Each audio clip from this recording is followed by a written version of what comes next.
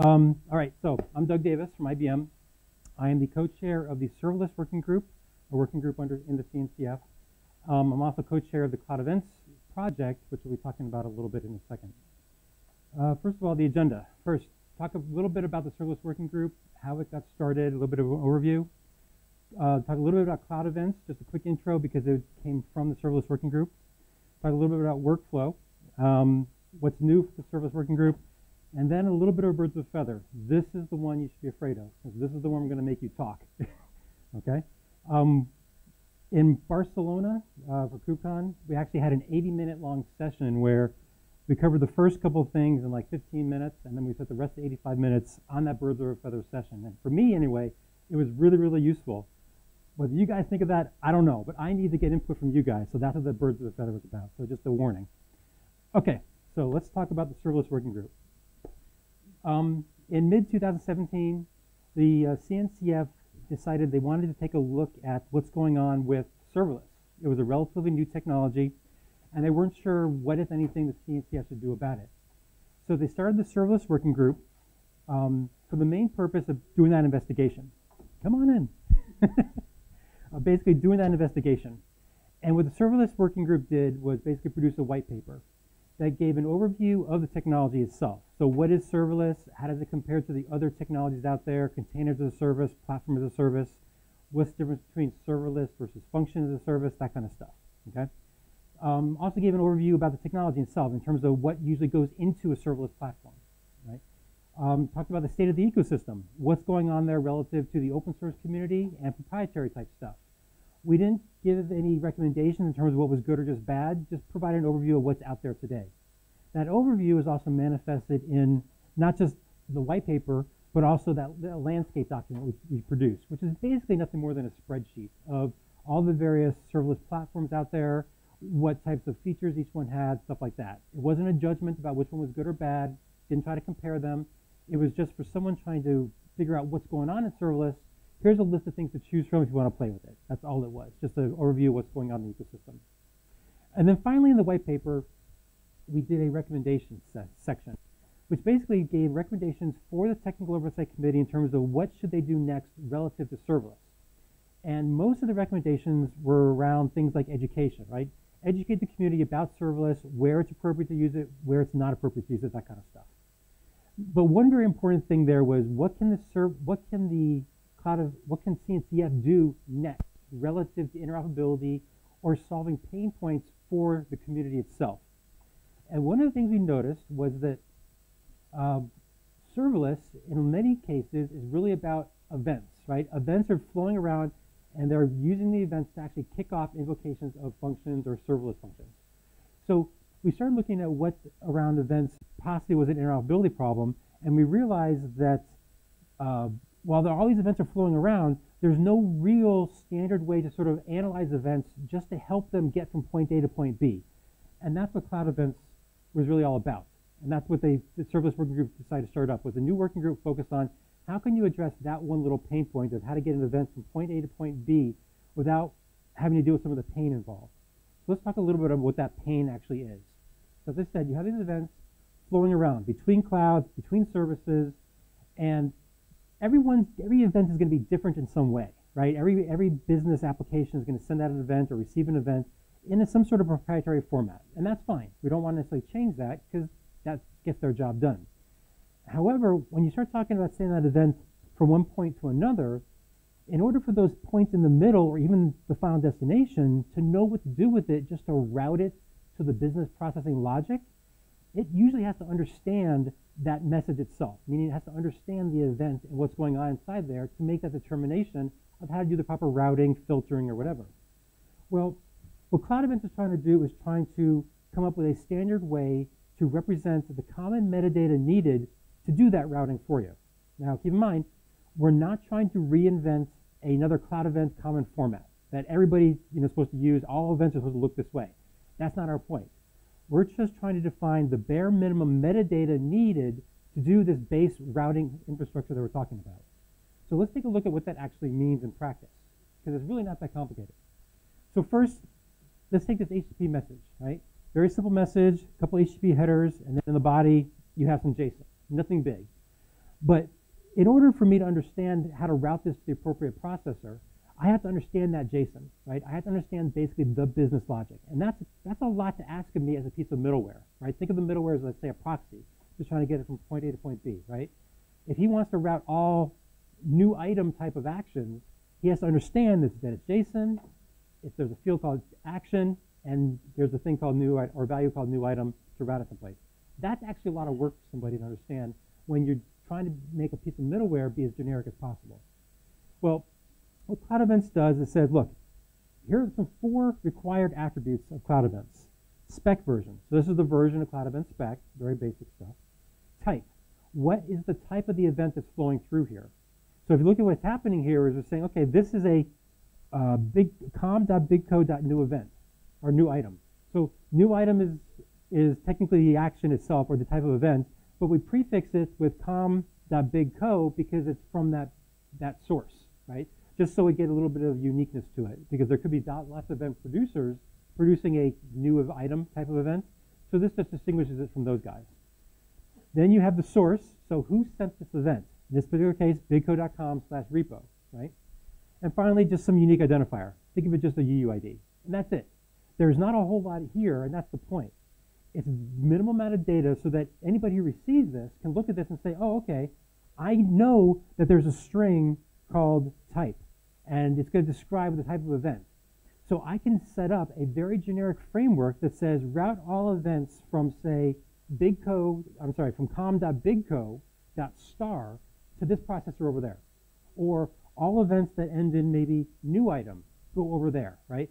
Some sort of basic logic that doesn't necessarily force you to understand what's in the body, but can do simple string sort of searches on either the type or the source to do whatever routing you need, right? If, if, if that's all you need is that basic routing, right, without understanding the business logic.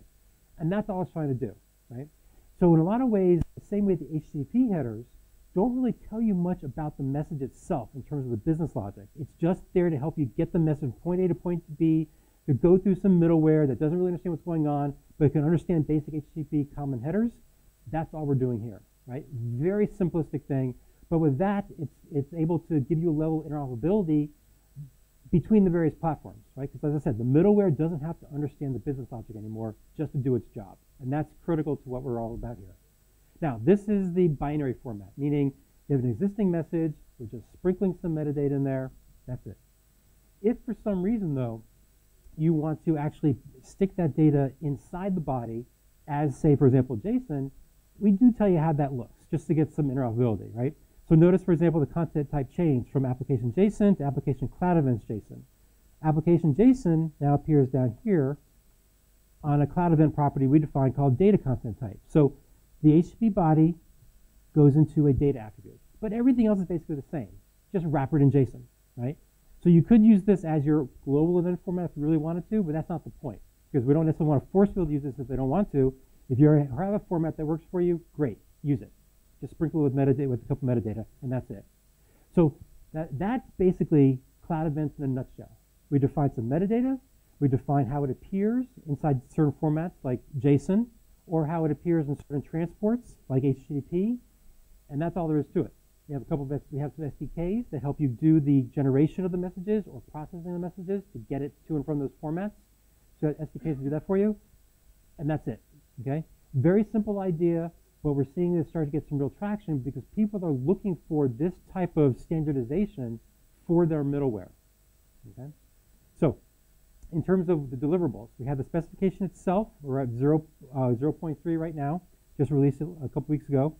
We have a couple of event formats, JSON, AMQP, protobuf, and we have some transports, uh, some of the more popular ones. We're adding new ones all the time. Um, Kafka is actually the next one that should be delivered very soon.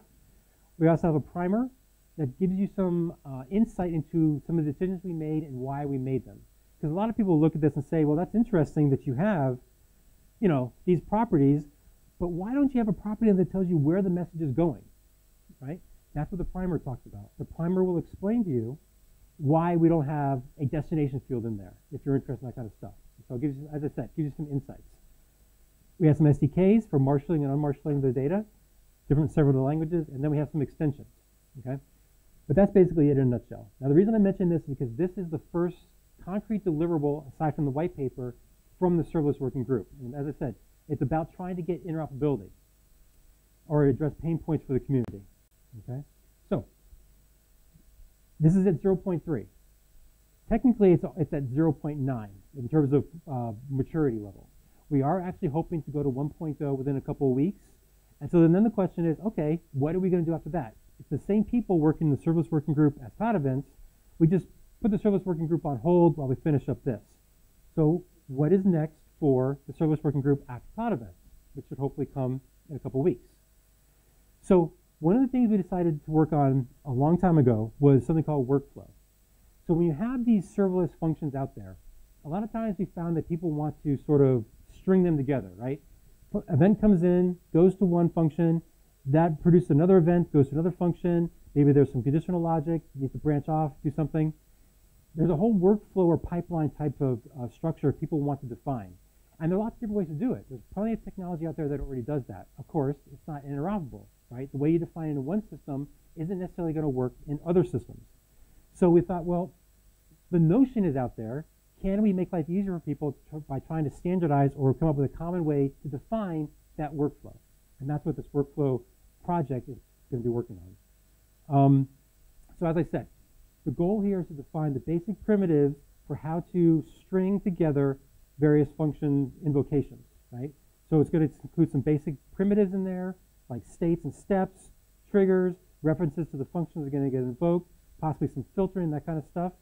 The important thing to know here that it's talking about how to actually wire these things together, meaning what comes next and how to decide what comes next. It's not going to necessarily talk about how to invoke the function itself, in particular function signatures.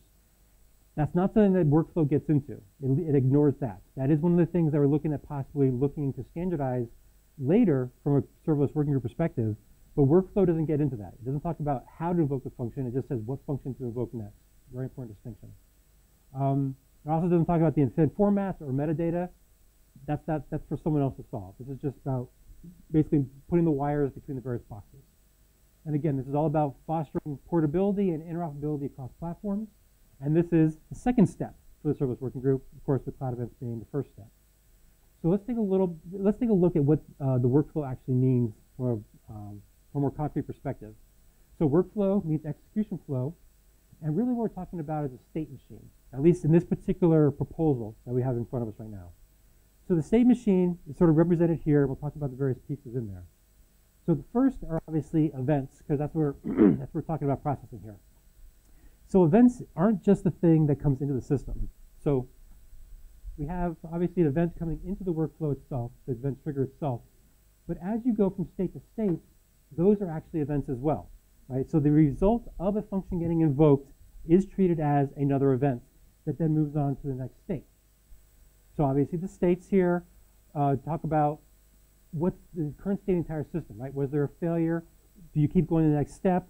Is there a uh, if statement, like right, the, the, switch statement in there, basically an if statement, right?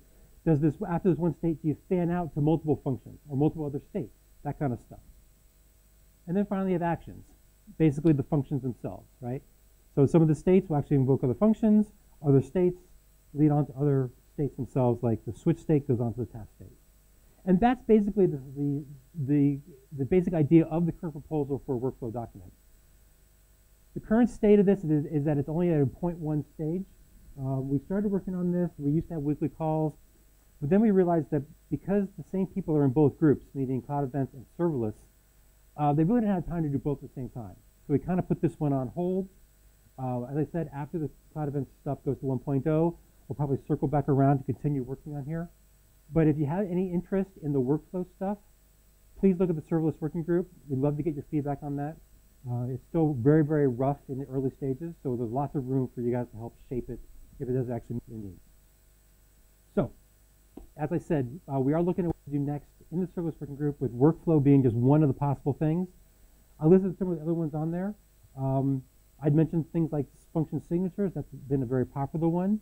Um, in all honesty, for some of these things, while I think they'd be really, really good to standardize on, there is some level of resistance in the group to do too much too quickly. There's a lot of people that worry that if you standardize something, it's going to limit people's creativity to expand it or to to explore the, the possibilities with that particular domain. So we have to tread very, very lightly here because a lot of people are very scared of standards, especially in the open source community. But if you're interested in any, any of these ideas or the other ones you think might be worthy, drop me a note uh, or just come to one of the serverless working group calls. Uh, we'd love to hear what you guys think are the pain points for you to address. Okay? Now, that was actually very quick, 15 minutes. Now we get to the part that you're dreading. This is questions for you guys. Okay? Because what I want to do now is, okay, I told you about cloud events, I told you about the serverless working group, told you about some of the things we think are pain points for people that we want to consider working on. But the problem is, that's just our view, right? The cloud events working group or the serverless working group, we have, at one point in time, we've had, I think, over 70 different companies or representative from companies appear. That's a lot of people. Um, but one thing that I actually think we're missing, we, we do have some, but we need more, is the end community input right? We need people who are actually using this stuff on a daily basis, not the people producing the infrastructures, producing the, the cloud providers. We need people, end users, basically giving us feedback in terms of when you go to use Lambda, IBM Cloud Functions, Google Cloud Functions, whatever, what are the pain points you're experiencing, right? And that's what I, this next section is really about, right? This is, this is the bird of feather thing. So let's start off with some simple questions, even before, even before that one. How many people here are using containers today in production? Really? Not everybody's hand went up. You guys are, this is this is the CNCF. You guys should all be saying, yes, we love containers and we're all using it. No. So that's interesting. Okay? And that's actually I'm not surprised. It's disappointing for me because this is what my job, right?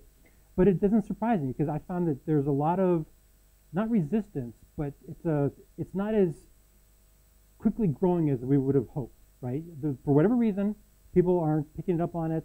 Um, maybe because it takes time to migrate your infrastructure. Maybe they're still nervous about it. For whatever reason, I'm not that surprised. So less hands are going to go up, I'm sure. How many people are using serverless in production today? One, two, three. Okay. Okay, so I'm going to pick on you three then a lot for the following questions. okay? Well, actually, first of all, for you guys who are actually using either serverless in production or just playing around with serverless, would you be comfortable telling me what kind of things you use it for? Actually, do we have a microphone?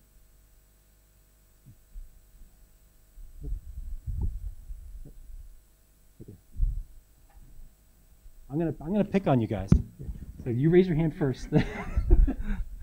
um, actually, we we kind of play around uh, serverless uh, right now. We, we're not like in mass production. It's just a few use cases. So what, what kind of use cases are you using? What what what what draw, what what what what are the first type of use cases you found interesting to possibly consider? Uh, our work, our workloads um, work uh, running on AWS, mm -hmm. so we're using it for uh, auto scaling. Okay.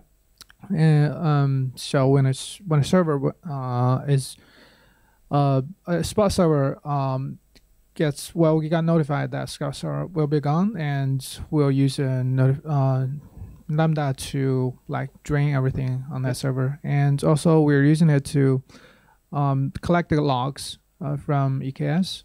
Uh-huh. Okay. Um, that's it. Okay. And I assume then it's the auto scaling up as well as the scaling down to zero that interests you, right? Uh, well, that's that's just just a use case. Uh, and also, uh, we're using lambdas to calculate some custom metrics for auto scaling. Okay. Uh, uh -huh. Okay. Only because you're closest to me, I'm going to pick on you too. Thanks. Uh, uh, actually, I am building a function as a service in my uh, company, ByteDancer. Uh, I'm from ByteDance.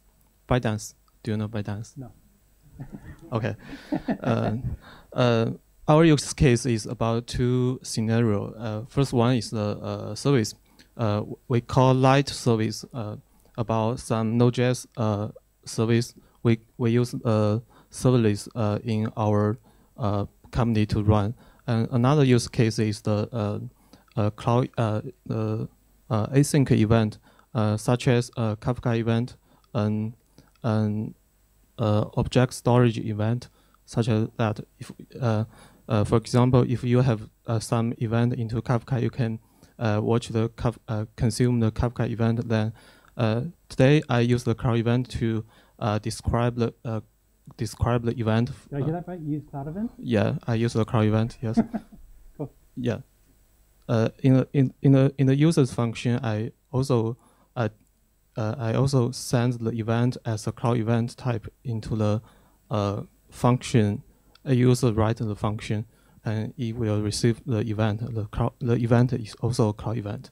So Let me ask you a question. Yeah. Why are you using serverless as opposed to just stand up a server that just waits all the time? your question is about uh, why do we use serverless? Yeah, why use serverless instead of just a standalone server that's Yeah. running all, all day long? Yeah, it's a uh, service have some advantage.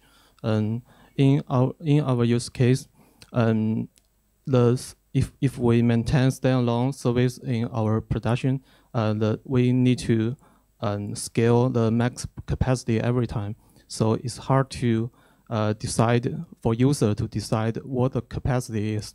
So the service is the main advantage for saving our resources. Yep. Okay. Auto scaling size. Yep. Yeah, right. Okay. Cool. Thank you. All right. So the next question on here, I believe, is for everybody else aside from those three, why aren't you considering serverless? And last time I asked this question in Barcelona, I got some really interesting answers. Is anybody willing to raise their hand to say why they're a little resistant to play with serverless at this point in time? No one? there has to be some reason you're not playing with it. Is it just too new? Is it just you're not comfortable with it yet? Any answer is fine. I'm just curious. You guys, see, I was afraid this would be a very quiet audience. you guys are gonna make me do all the talking. Okay, so just maybe this will help. So when I in Barcelona, some of the reasons I got was or were related to with containers as a service or with containers, we're told, hey, you know, take your monolithic application and split it up into microservices, and that's fine conceptually. It's a, it's rather, it's sometimes it's a hard task though, right? Where do you draw those lines? Where do you draw the boundaries to actually have the little microservices? Well, with functions or serverless, we're now saying, hey, great, now do it again, right? Take your microservices and split them up into tiny little, little, you almost like utilities, right? And again, it's back, it's back to where do you draw those lines, right? How do you then split it up? How do you then manage not just five microservices, now 50 functions, right? And people are a little nervous about that because they're not sure about whether the tooling is there yet, right? How to do the split. The education around it is a little bit nerve wracking for people. And that was actually a, one of the things we learned most about the audience Barcelona was there's just some fear and they're not ready for that progression yet. And they're also afraid that the tooling wasn't there yet to help them because they feel like there's a challenge with just, for example, gathering the logs from, you know, your five microservices. Oh my gosh, now these things are, you know, exploded out to have so much and then they're going to scale. How do you manage all the logs across that? And there are tools to help you, but they weren't sure whether they were mature enough. And that was part of the reason they were doing it. Anybody want to say anything yet? No. Okay, fine. you guys are going to make me work. Yes. Uh, actually, we are using serverless in our production, but the service we are use is not a true service. He cannot scale to zero. Interesting. Yes, uh, so we so so they provide us some uh, reserve mode. Mhm. We we we uh, we give them some volume, uh, then they scale to that volume to serve us. And uh, what holds us uh, from uh, using it? The first one is the scalability, uh, like the scale to zero, the, the ability to scale to zero. And the other uh, problem I want to mention is that. Uh, I'm sorry. Ah. I'm not sure I understood. The scale to zero, are you saying that's a problem for you because you can't go to zero or because you want to, but your infrastructure won't let you? uh, the infrastructure does not provide the ability to scale to zero. So I did not raise my hand Okay. previously Oh, okay. because because I thought that was not a true service. Got it. Okay. Okay. Uh, the second one, the second one is that uh, the uh, we uh, rely a lot of uh, microservice behind us, but they are not uh, a bus service. They are traditional uh, microservices okay. and they are they are not serverless. They are not serverless. And what's worse is that uh, we need to use some rich client to call them, and they provide some uh, jar file, Java uh, uh, rich client Okay. to call them. And we are Node.js application. Okay. It is hard for us to uh, to to to uh, in, interoperate with them. So uh, so though there are some uh, mesh there, but they can only do some uh, common service. But for some business uh, service, we it is hard for us to uh, translate those uh, rich client uh, into the mesh. So it's difficult for our business to turn fully uh, serverless. Interesting. Okay. Okay. So just just for your reference, I'm not a purist. So the fact that you don't scale down to zero, that's still serverless to me. I know a lot of people think serverless has to go to zero. For me, serverless is a little more abstract, and to me, it's like the auto scaling and and the function level type stuff. But even then, but okay. But thank you for for providing that. That's useful. Thank you. Okay. So, um, since most of you are either shy or not using serverless, this, this next question may not apply to you. Um, so when you guys are actually using serverless, though, what are the pain points for you? I mean, you guys are using Cloud Events, so hopefully that's helping you a little. But um, are you finding, for example, that you're tied down to one particular architecture, right? You said you're using AWS, I believe, right? Do you feel like you're locked in, or do you feel like you could take your your your Lambda to another platform and easily run it there, right? Is portability of functions something that's that's that worries you, right? Is the because the function signature, for example, will probably change when you go to someplace else because Lambda has their own little function signature with context being passed in. Other ones can have their own way of doing it. Does that kind of stuff worry you at all in terms of portability, or do you feel like, eh, it might be a little bit of work, but you can easily port it over to Google Cloud or IBM Cloud or something like that in their function platform? What kind of pain points do you guys have relative to portability, tooling, debugging, anything else? Anything you want to mention? There you go. Ooh, thank you. Give it a sec. There you go. Um, for us, uh, currently we're we're not worrying about portability because uh, we just migrated from on-premise data center to AWS. So right now we're uh, it, it's it's a phase where we uh, like uh, locked in uh, AWS. We don't worry about that. Okay. Uh-huh. Um, but we, for me, my per- from my personal experience, we uh, I'm a little worried about um, how to like, like I feel I feel is- isolated of the code like uh, in different uh, lambdas What do you mean by isolated? because well for for microservices it's a it's an independent um, piece a piece of software that actually completes uh, a meaningful um, functions features Right. but uh, serverless for serverless lambda functions is t- much too much smaller that sm- to a point that m- maybe it just not that meaningful uh, sometimes Interesting. Is, it, is that is that a problem or is it just a mental model you have to get used to? Uh, I think it's a mental model. Okay. Uh-huh.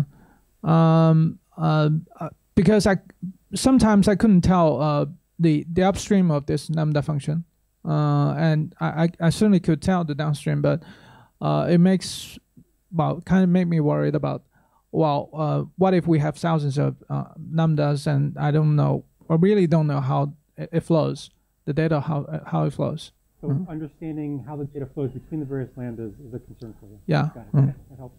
Okay, cool. Is there anybody else who'd like to volunteer for pain points? Oh, here we go. Cool. Yeah, I think our uh, one pain point is that uh, uh, our the, the developer was uh, used to the develop some more heavy programs uh, like tra- traditional application, Mhm. uh, and uh, also some application was the development by .NET. Um, uh, it's hard to um, uh, uh, the develop again with uh, microservice, so uh, it co- costs the time uh, to do that. Okay, thank you. That's that's consistent with what I heard in Barcelona. So thank you. Yeah. Yep. Okay, we are running a little low on time here, but so one last question for you guys. Uh, actually, two last, hopefully. Now you mentioned actually it's interesting. You were just talking about you have current workloads and it's a challenge to, to split them up and actually make them into functions and stuff. Are there workloads that you'd like to see supported? So, for example, uh, one of the things that I hear uh, um, differing opinions on is whether, for example, serverless should support streaming, right? Are those the type, you know, is that something you want? Because a lot of people think of serverless as small little functions, short-lived. Um, in fact, you know, like Lambda, for example, won't let you run functions for certain minutes and stuff like that. But what if you want to have a function that actually runs for a couple hours because it's doing some stream processing, right? Do anybody have any use cases that push the boundaries of what you can do in current in current serverless platforms that you want to mention that can't don't work well today? Okay, fine. running out of time anyway.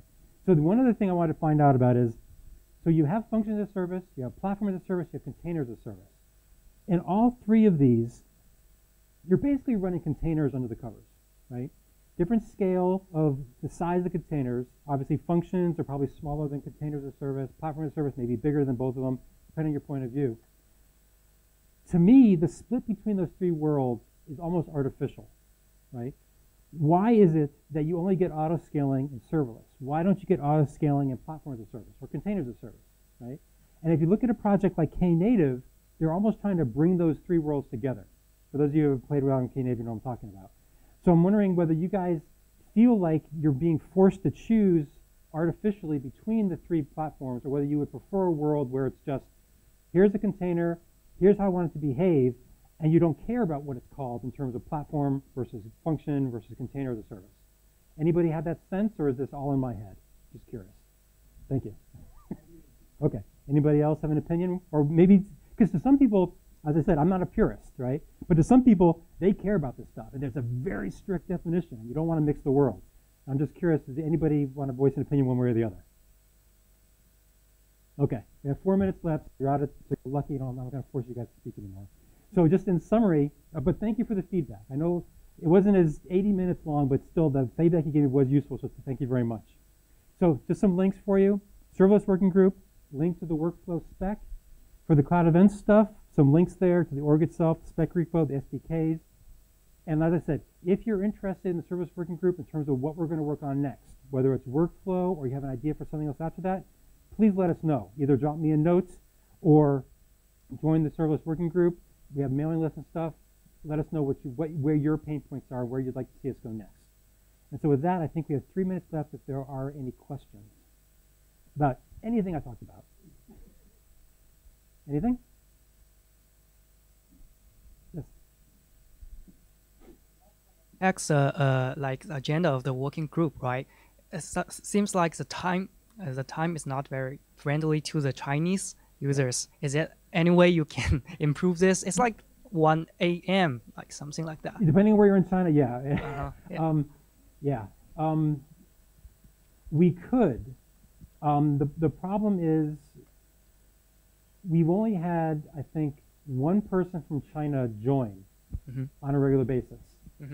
So for one person, it'd be very difficult to convince everybody else to switch. If we got indication that there's more than one, we would definitely consider this. So voice your opinion, ask it, say on the mailing list you want to join, but it's bad time, and we can do a trial run.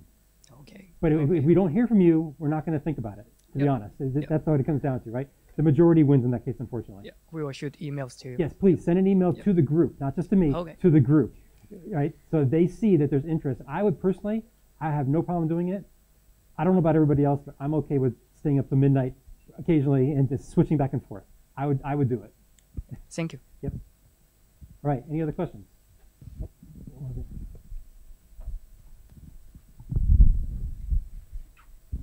Yeah, I, I just uh, I think I can understand that uh, we do the definition for a cloud event, but uh, for the workflow, uh, next steps, I, I, I'm I'm a little confused. Uh, uh, why should we define uh, another workflow? You know, there's there's so many workflows. What then? What's the benefit? What's uh, what's Right. the difference for serverless and the workflow? Right. There's- There's that wonderful comic strip about, oh my gosh, there are 14 different ways of doing this.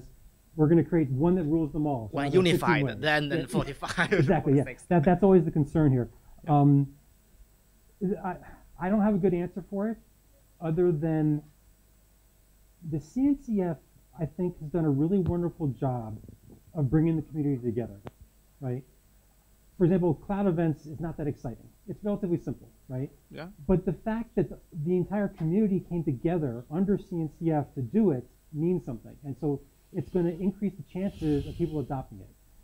With something like workflow or anything else we do, I think it's going to be the same thing. You run the risk of it being yet another whatever, but because if we do it right, we're going to have the big players in there. You know, the IBM, Red Hat, Google, Microsoft, hopefully, and Amazon. Hopefully, we'll get them to, to participate. And if they participate in the in the definition of that thing, I think it increases the likelihood of it being adopted. Because I had the exact same fear when cloud events first started, right? It's going to be yet another sort of eventing type of thing, right? But we've heard, I can't mention their names, but we've heard that a lot of the big players are adopting it. And I think it's simply because they've been participating in it and they've had a chance to voice their opinion and shape it to something that meets their needs. And we didn't try to go too far, right? As I said, we weren't trying to define yet another common event format. We looked at one particular pain point that says, how do we get that common metadata into an event, right? So if we can do something similar with workflow, granted workflow is a lot bigger than four little metadata attributes, but if we can do something similar there, it says if we can cover a certain percentage of the workflows that people are defining today in a relatively common format and get the big boys to agree to support it, then it can take off. But you're right. If we can't get the big boys to adopt it, it's going to go nowhere. And that's the risk we take. So that's why we have to go very slowly and carefully about it. But I do share your concern. Okay, thank you. And with that, we're one minute over. So thank you very much.